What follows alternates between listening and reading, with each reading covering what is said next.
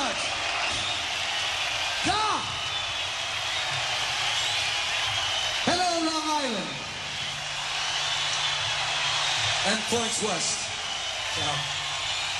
Good to be back here. Number one city in the world.